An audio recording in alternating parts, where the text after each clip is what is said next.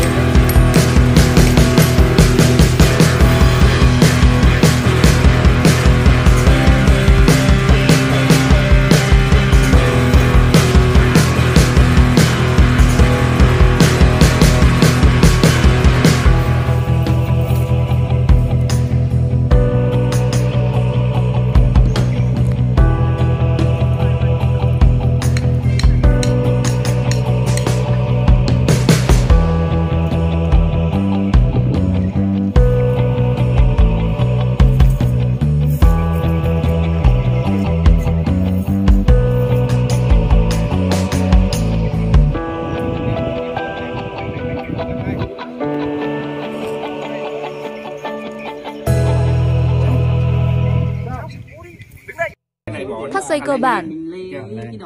Đây giống cái này. Cái nào đặt lên cái nút của chai nút của chai Đây, như này. rồi một bên đặt đây là như này. Đây, thấy không? ở đây.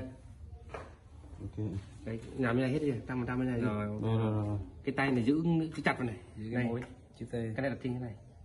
Đây để tạo ra một cái điểm Rồi là lùa dưới lên luôn hả ờ, trong tay này.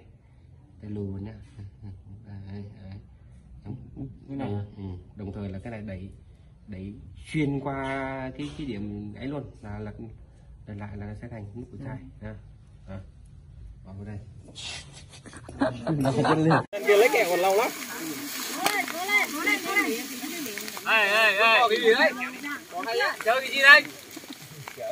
Nhà ba là nhà keo ra. Bỏ keo ra. Chơi nhá chơi bỏ keo ra. lấy kẹo Go lên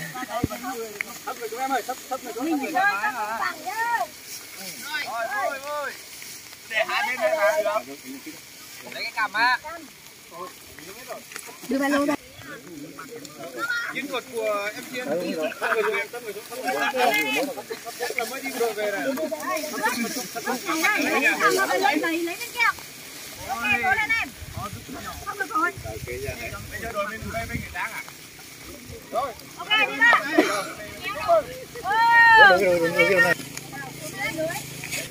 trong ngoài làm rồi là anh chỉ đi đường là xong